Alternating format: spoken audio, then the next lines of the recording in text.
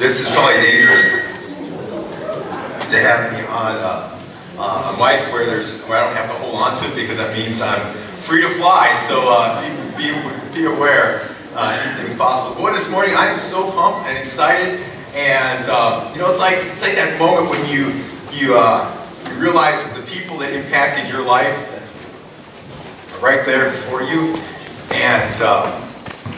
You just want them to know how much it means, you know? And to see like 40 of you guys all here together today to come by and just say, hey, let's do it, you know?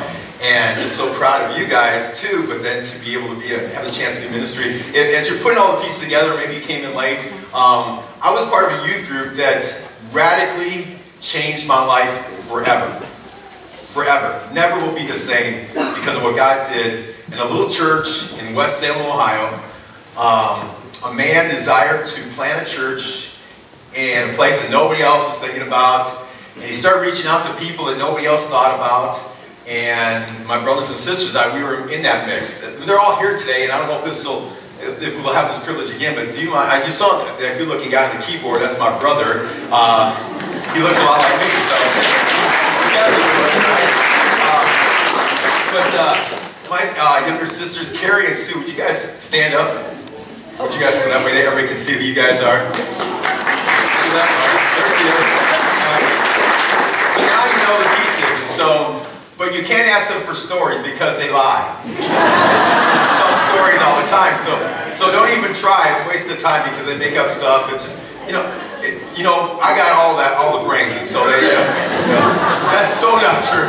Like, no, I'm a liar. I can tell you stuff. Oh my goodness. We bring it going, yeah. So, uh, but decided to plant this church in a small town, and um, we moved out into the country, uh, out here in this area, and some guys came to our, we didn't even have a house yet, we had a trailer setting on a lot, and these guys came, we were going to build a home and all that stuff, long story, but, but these guys came and invited us to Truth Baptist Church, and um, when we lived in North Ridgeville, we were part of a Baptist church, so we thought, well, we'll at least give it a try, and so we went to that church, and what would take place in the coming years radically changed our lives forever. We grew up in a very difficult situation. Uh, life was tough. Uh, we didn't have much money. Um, it was just difficult. We didn't have many means, but, um, but God gave us what we needed. And He gave us what we needed through His Son, Jesus Christ. And He changed us from the inside out because the people that are sitting in this room, the people that are sitting here, were, were part of that process. Some of them were my youth leaders, some of them were my friends. Um, and they did and said things that caused us to, to see life in a different way. Um, and without them, I don't know where we'd be today. The possibilities are great as uh, we go back to class reunions and, and see friends from, from past days and realize the path that perhaps we were heading on had it not been for Truth Baptist Church and the youth ministry that they had there, the things that they chose to do. Now, this morning I'm going to step out on a limb, and I'm trusting God for this, which is really great because Hebrews 11:6 says, For without faith, it is impossible to please God. So God, I'm putting a lot of faith in my friends here this morning, so I'm counting on maybe some things that you may have to say or share this morning. I'm going to get this mic ready, and uh, in case there's something that you feel like that you need to share, we're going to let you be part of the message. Because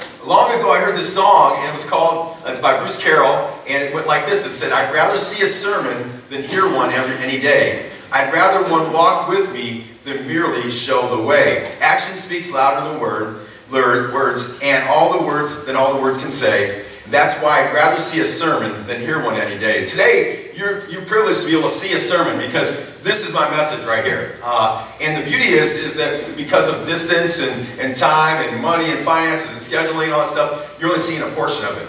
Uh, there's so many more that are out doing different things for Christ. Many of them are serving in the churches this morning in different ways, and so different things going on. So um, that's that's kind of our story, but but this is a portion of what God did in my life. And so uh, what I'm going to ask for right, you, right now, if you wouldn't mind, if you were um, one of the students in our youth group, you're one of the people that uh, you would say, my friend, you would have to say that because you came all this way to be here. So, but if you were one of my friends in the youth group, would you just stand up? You were part of this youth group. You're some of those that, that we actually went to church together. We sat in church together. We did youth group activities together. Would you just welcome them uh, this morning?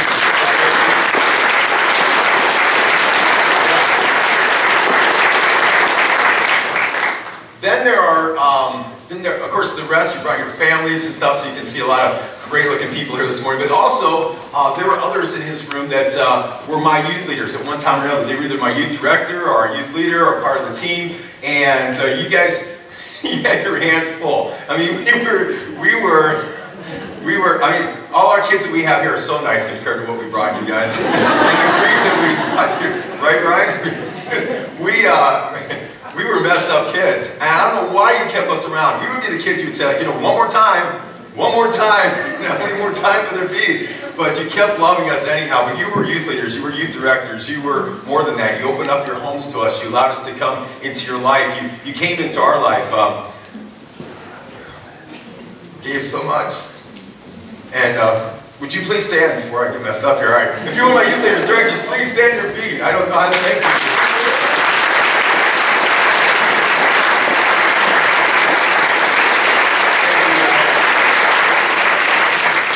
I'm going to put this in Craig's hand here. He knows how to do this stuff really well. In case someone has, yeah, just turn it all the way through the two switches if you need it. I don't know if anybody's going to share anything, but we'll just flip it all the way to the far if we need that. Um, Check, check, ooh, I'm hot. I see. I told you. You know, right here, you see that there's signs that says reserved for the TBC reunion group. Now that wasn't to keep you out. It was to keep you safe. that was for your protection. It wasn't like this is an exclusive group. It was to keep you uh, to enjoy your morning and not be. Yeah. Oh, we're gonna have so much fun. Uh, you know, I wasn't I wasn't the only one impacted by these the ministry that they had. There's so many different things um, that they did to impact our lives. Uh, they just loved us. We had a pastor that said this over and over again. He says, uh, everybody says that the youth are the church of tomorrow, so we really need to impact them. We need to, to do things to help teach our kids because one day they'll be the church, and if we don't, we won't have a church. You look in England, you can see that that's happened. They stopped investing in their young people, and, and Europe all around, you'll see where the church was so strong years, hundreds of years ago, and it isn't the case today. And if we as a country don't do the same, if we don't change that way, we'll do the same thing, follow, follow suit with them. But, but he would say, you say the church is tomorrow. He says, I'm telling you that the, the youth are the church of today. It's not tomorrow. What they can do today can change your life. He said that so many times we start believing it. And our youth leaders started believing it. So it was, it was not uncommon for us to come to church and say, hey, Brian Scott, uh, why don't you guys go play a song? Like, we didn't practice anything. That's all right, just play. It's, it's for Jesus, you know? And his favorite, I think his favorite verse was, it's making joyful noise unto the Lord anyhow. You'll be making a noise, but be for the Lord, you know? And so we, we, he just used us, and he, he believed in us, and his leaders did the same thing. You guys, you, you gave us opportunities to serve and get involved and stuff. So we're very, very thankful. This little youth group, now you say, well, there's a lot of youth groups around the church, around the world, and in different churches, and that's true. But in this small youth group, this small church, this youth group would not stay small because God got a hold of it. And some things started happening. We didn't schedule it, we didn't plan it, we didn't budget it. Um, it wasn't something that somebody could put together and make happen. It was something that God chose to do, and then we chose to respond to it. And, and uh, in that process, we got to see uh, this youth group. We would go to, uh, there was a thing called the Northeastern Ohio Youth Fellowship, and, and these youth groups would all come together from Northeastern Ohio, and there'd be these big rallies and big contests and big events. And it was really kind of a cool thing because it could be anywhere from 10, 12, 20 churches Am I right? Is that I'm sure there was a lot, uh, a lot around that number, but it'd be all over Northeast Ohio. We'd come together and and, um, and they'd have these big churches and big youth groups and great things happen. And but this little church in West Salem started bringing more and more, and we have to fill up a bus, and, and the guys have to uh, work on the bus and get it ready to go so we can go to these rallies. And next thing you know, we have to get another bus because we don't have enough seats on the bus to go to the rallies because everybody just started inviting their friends and started inviting their friends. And, and so we would see great things happen. We would go to youth camp and we would fill up a bus of kids and drive, you know, eight, nine hours to go to youth camp. And then next thing you know, next year we have to do a second bus because we have so many kids that want to go to youth camp. Um, we saw countless numbers of our friends come to know Christ because we, we just believed that that was the thing we were supposed to do. God was working in our heart and what happened with us and how he was changing us. We just figured our friends would want the same thing, right? So it's like, hey, you got to come with us, come with us. And we'd go to church, and then when we get done with church, in our little town, there was a, a restaurant that's called the Pizza Pad. And I didn't realize how little it was because when I was at that age, it looked like it was plenty of room, but it wasn't very big. But uh, we would come in there after youth group, and I could, you could just see look on their faces because I worked there as well too, so I remember how it was like, but they were like, oh no, here they come. Because we just pack this place out, you know, and uh, we just, we buy pizzas for each other, and we just share them, and just eat until there's no more pizza, and hang out together, and, and uh, now we had a lot of different nicknames in West Salem. They knew us by many different ways, it's like Truth Baptist Church, you know, the kids at Truth Baptist Church, the youth group at Truth Baptist. Um, our pastor had us cheer on the bus when we go to these rallies. He had have us lead a cheer going, TBC, TBC. That's stood for Truth Baptist Church. That's who we were. That was one of our nicknames. It was fun, easy to cheer. But we were also known, at least the guys in our group, uh, we were also known as the Baptist boys because we would just hang out together and these Baptist boys just go do things all the time together, wherever it was. You could see one, you'd see 10, 15, 20 of them just going doing things. Uh, sometimes it involved the use of toilet paper, but I'm not sure to describe what took place, but it wasn't going to the bathroom. so, um, because of that, we also earned another uh, notorious nickname. We were called the Holy Rollers.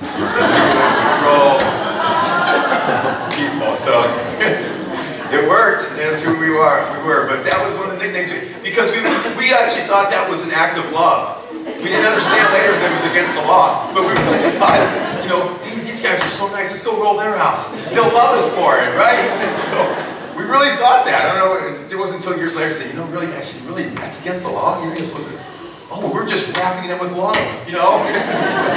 it was a lot of fun, good times. We even got some of our youth leaders out there, right, uh, right, Lynn? I remember, she even helped us one time, so uh, that was awesome. Uh, I'm probably getting her in trouble right now. um, again, we saw so many cool things happen.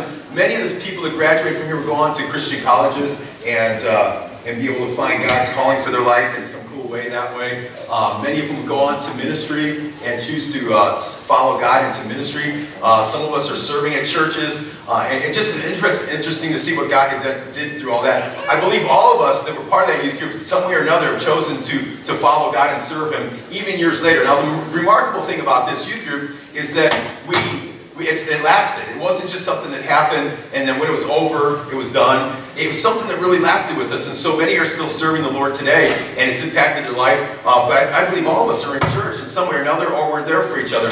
When something happens, that's Craig. I'm sorry. so it's really not me this time. Um. I don't know what to believe now. Yeah. Uh, so many of us uh, would be, you know, serving the Lord later, and then when difficult times would come in our life, even to this day, we're there for each other.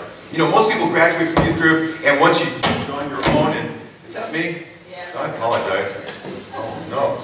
Maybe I'll try a different position. There we go. Maybe that'll work better hopefully. Uh, and so, you know, we've been there for each other through the difficult times, uh, and we can go into great detail about that. But this morning I want to ask if there was something that happened in your youth group time, whether you were a leader or whether you're one of the students, then you feel like maybe this morning would be kind of cool just to give God the glory. Because again, our pastor reminded us whenever we get nervous about sharing our testimony, whatever, he said, he said, remember, all you're doing is bragging on Jesus. When you share your testimony, it's just that simple. You know, in fact, the more you talk, the more we end up messing it up. Just talk about him. And so this morning, is there something where Jesus did something really cool in your life through this youth group experience uh, that shows that these years later, it really did make a difference? Anybody, uh, just raise your hand and Craig will be right there with the microphone for you to share. Here's that faith thing that I was stepping out on. So here's that part. I'll just break the ice. Okay, broken. Okay. I just introduced myself. I'm attached to Carrie Price Welder. Okay, well, there's a lot of people here.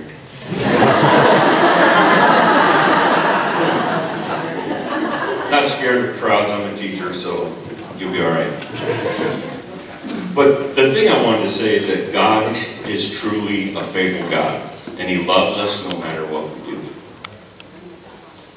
share a little bit about who I am. I'm, I'm widowed at a young age. I lost my first wife at the age of 26. We had four kids together. They're raised and gone out of the house. Carrie and I went to high school together. I can look around here. Brian and I got into a lot of trouble together at school. And I see Dana Fletcher back here somewhere. I hung around with Dana because he hung around with my cousins, which is, one of them is right here. And we were all good little church boys. Okay? So we had a lot of fun there. But God used me in a different way.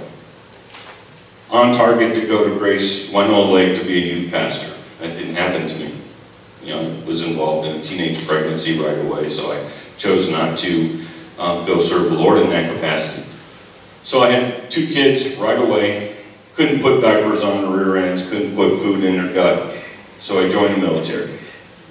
Okay, God led me in the, in the Army, I served my time in the Army, went to Desert Storm, got out of the, out of the storm, and my wife had, had some issues, went into surgery, never came out. So here I am with young kids. Well, this is about 10 years after high school that this happened. So our 10-year class reunion, I run into Carrie's best friend and I say, hey, you know, if she wants an instant family.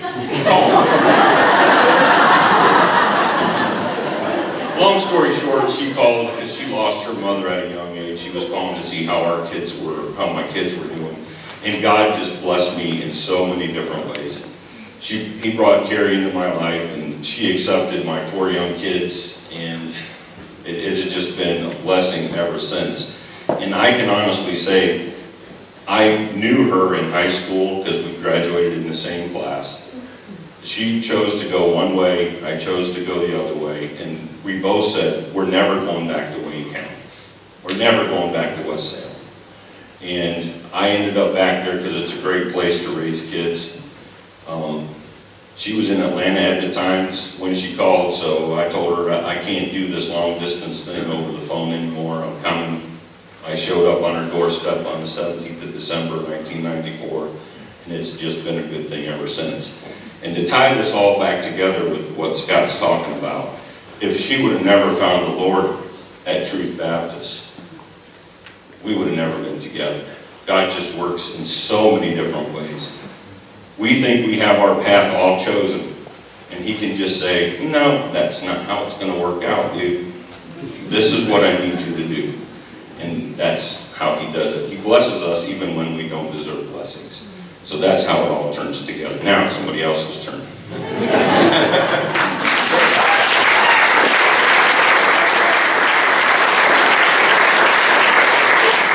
Come on, I want to hear more stories. I, I can pick on somebody, I can just hand the mic off. That's what's gonna happen. I will. I hate to do this. But I've got to admit that being with the Price family, they were testimonies to us. The love they all shared amongst each other, the closeness that they had. Uh, They were always a joy when they came over. Um, they, it was just one group in a million, and I just wish, as you know, especially the, our boys, they got along, locking each other out of the house, doing all these horrible things to each other. And I used to think, wow, why doesn't Scott and Brian influence? Of course, Brian, you were in on a lot of the things. They, you know, get along better like they did, you know, with each other. And, uh, and Jerry and Gary Stiller.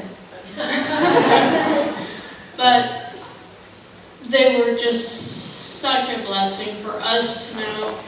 And many times in other churches that we have gone to, I have used your family as an example as to how close you kids were and how close you were to the Lord. And I found you all amazing, and I was really glad that we got back from Arizona in time to be able to come here. And if I get in trouble at West Hill for not going the first Sunday that we're back, oh well.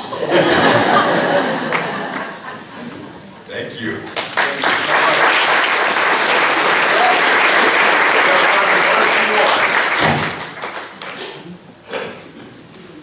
This isn't a testimony so much, but what Scott says about Truth Baptist Church. There's a saying that uh, everything rises and falls on leadership. And my father was the pastor of that church, and he was the leader of that church. And uh, God gave him a love for people, and that's what made Truth Baptist Church special. With my father loved everybody. He went after the poor, he went after the people that didn't have clothes, he went after the people that drank, he went after everybody because he knew God loved each and every one of them, and he used to be in those same shoes. Um, But that little church of 220 people, 200 people, would send 50 kids to church camp in the summertime. Unbelievable amount of kids. That same church, Vacation Bible School, would have 400 kids at it. You guys remember that? Unbelievable. My dad would, would I, I think this might have been a Lodi Baptist Temple at another church my father had started. My dad actually let the kids, they had a goal, I don't even remember what the goal was, of number of kids, I think, to have there. And they let him, he let those kids, they met their goal, and what they received for their, their award was they were able to tar and feather my father. So we had cups of honey, and they poured honey all over my father, and then threw feathers on him, and he had to walk around the circle in Lodi, Ohio, tarred and feathered. But that was my father. And I love him today, he's gone, he's in heaven, and he's in a, a much better place than, than this place today, but, uh, that one, that's what made Truth Baptist Church special. He not only loved adults, he loved kids. And he, every church my father ever worked in, there was a strong youth group. Uh, but like I say, everything rises and falls on leadership, and that's the pastor of the church.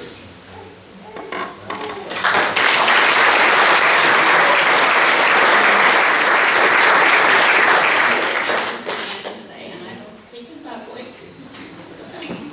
It was an absolute awe.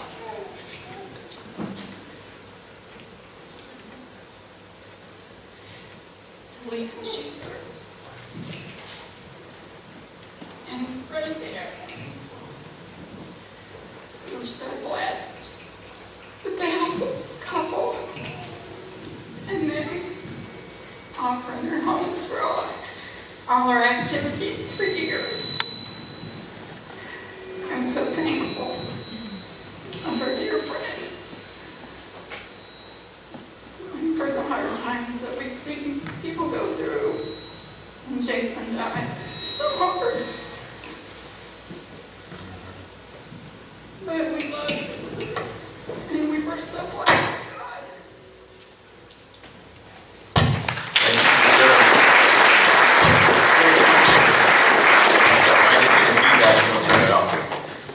for sharing. And you know, we could go on. There's so many amazing. Hey, hey, hey, Sorry, are you ready to share? All right. I'm ready, but I'm going to say something. Good.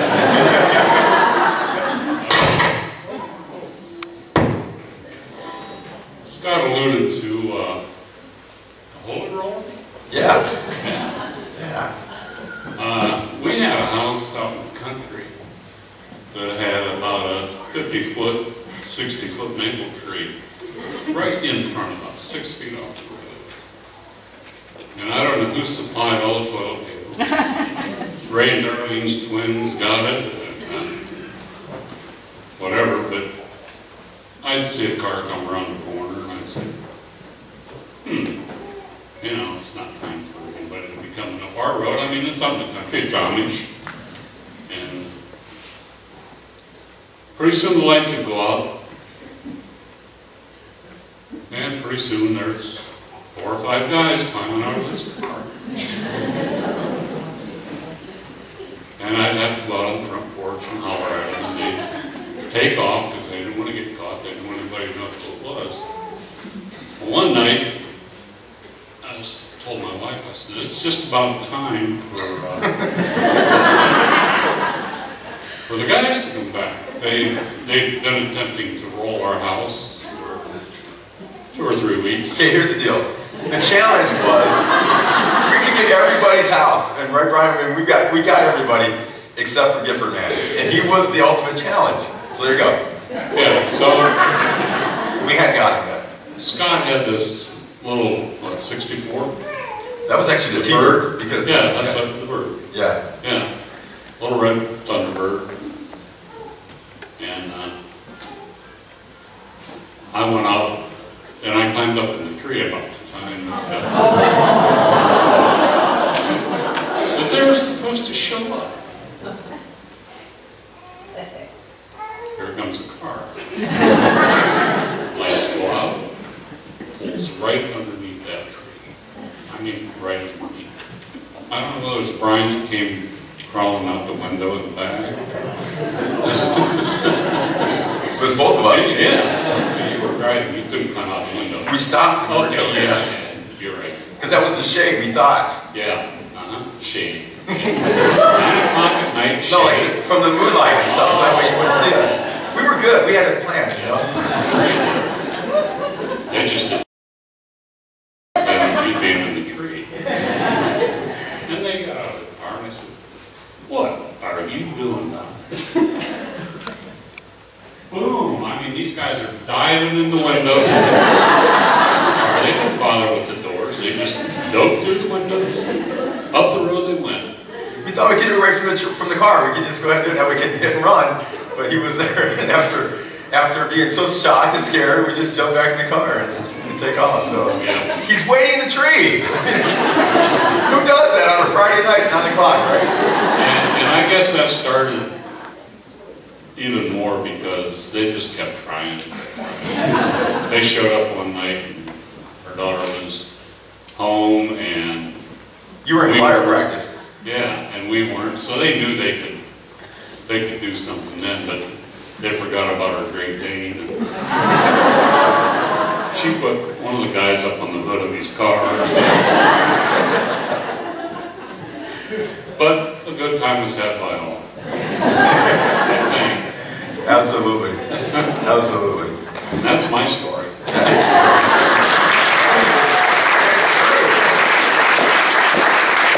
I told the whole thing we might not have a job tomorrow. Right, right.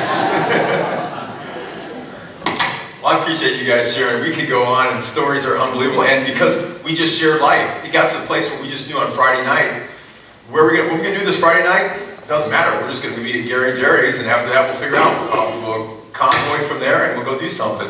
Uh, I see Kevin's here, and Kevin had a GMC Jimmy, and I had a Blazer at the time.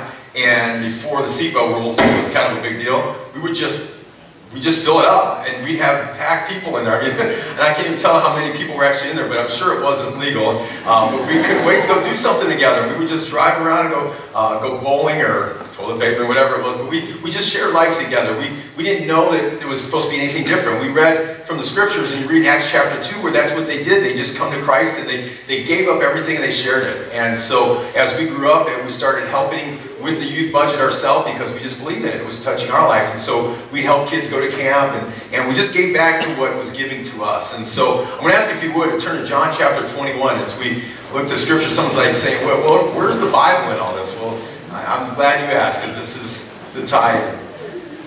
Because what God did in our life happened because he chose to call on people who would follow him and then lead us.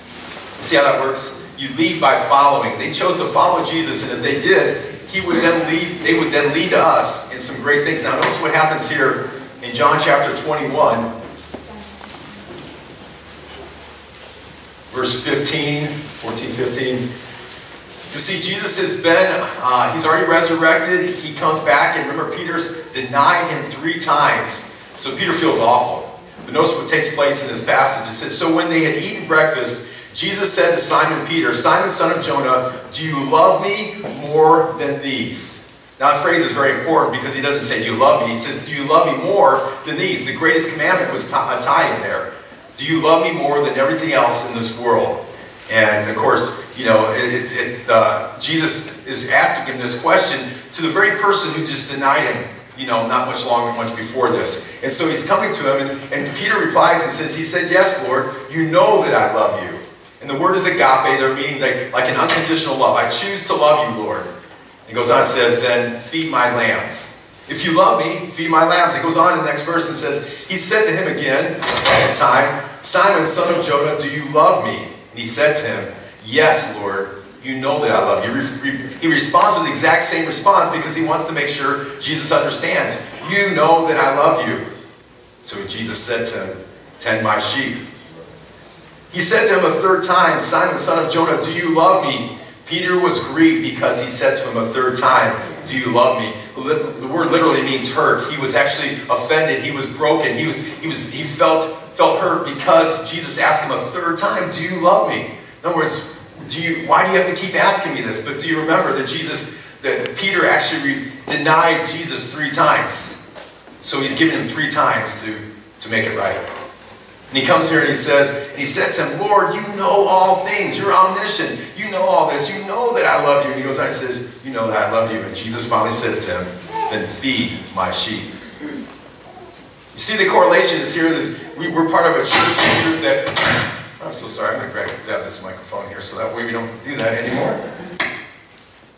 The correlation is simple in that um, we, if we love Jesus, there's a lot of things that we're supposed to do about that. Follow him, serve him, be holy. There's all kinds of things. But one of those things that's very clear in this passage, when you love someone, then you do something as a result of that. And, and many things, many things that happen in our youth group is because someone chose to follow Jesus because his life changed. And of course, we talk about our pastor, Pastor Browning.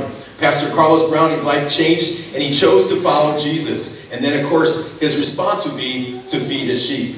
And we were part of that flock. And, and so, so many of us were impacted by that because he loved Jesus, he fed his sheep.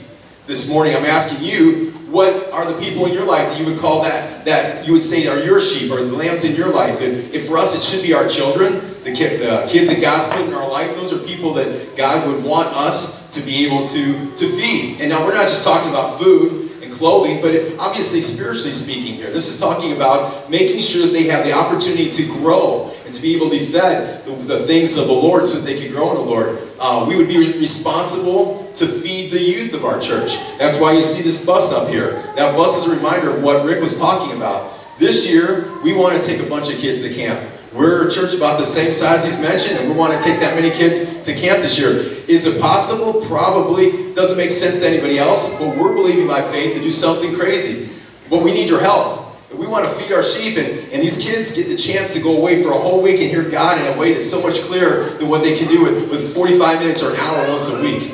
And so we're, we're asking, let's help these feed these kids. Let's help give the, uh, help them to have the chance to be able to grow in their faith in the Lord. And that's coming up. And, and the truth is we need to ask a lot of kids. So if you know someone who needs to go to camp, help us to help them get fed. Who else should we feed in our faith? Um, those that are younger in our faith, those that we know who've come to Christ since uh, more recently. It's our responsibility to feed the sheep. Uh, that's uh, we find that in the scripture all the time. Of course, the flock. Anybody in the in the church, those around us, it's our responsibility to help them to grow. Jesus says, "If you love me, you will feed my sheep."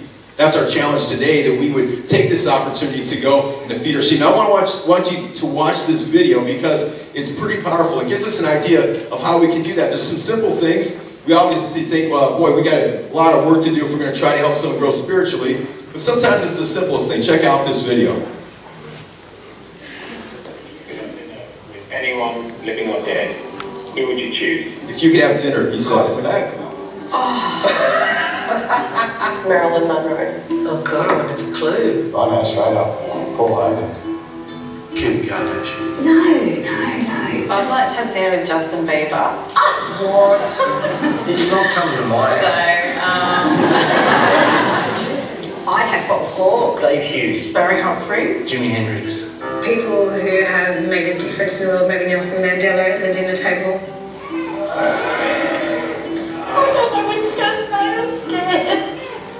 If you could have dinner with anyone in the world, oh. who would you choose? Probably our whole family, like a whole extended family. Mum and dad. Mum and dad. Does it have to be a celebrity? Could be family? We love it. We talk about how school is. We ask mum and dad how their day was. Family. Yeah, mum and dad. Family. Who would you guys like to have dinner with? They just want to be with us hmm. while they're eating food, which is pretty cool. They see us above everything. I'm great. Yeah. Yeah. Bit, bit of a message in it for me. Yes.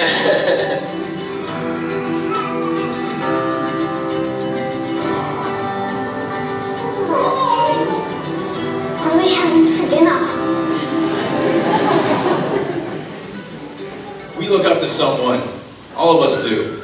And there are young people in our lives that are looking up to us, and we have the chance to make an impact in their life. I'm a product of that. I'm living proof of what would happen if you would just take the time.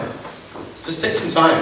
Invite an extra kid over. You know, let somebody be part of your life. You know, uh, we, we the stories and things we've done it uh, many times we've invited ourselves over for Sunday dinner to, to so many of your houses where uh, you didn't know you had some extras, but here we come, you know, and that's all right, there's, there's enough for everyone. Um, and as friends, we would share lives. We had the chance to, be, to grow together and to learn from one another because we took the chance to give time. Today, God's going to ask us to be able to feed somebody in our life. There's someone looking up to you, and you have the chance to make a difference for them. Yesterday, so many of you came together to help us to raise money to get kids to camp. Thank you for that. That's an impact. All of us can do something to make a difference for the, the next generation that is counting on us to be able to feed them. What will you do? Just take a moment right now to bow your head, close your eyes as we are getting ready to go to worship. Thank you for your attention. Thank you for letting us uh, change the schedule a little bit today. But I wanted you to see a sermon and just hear one. I'm convinced that the things that we heard today and, and seeing the, the lives that years later are still living for God because of that. No, are we perfect? Have we messed up along the way? All kinds of things have happened? Sure. But the love that we have for one another, love we have for God, has propelled us to the place that where we're still trying to serve Him, trying to love one another. And today, we can have that kind of thing for our young people if we choose to invest in them and love with them, love them and help them to one, uh, love one another, to spend time with each other, that sort of thing. So today, who is it that God is asking you to feed? Is it a young person in your life? Is it a child? Is it a neighbor? Just talk to the Lord right now and let Him kind of motivate you.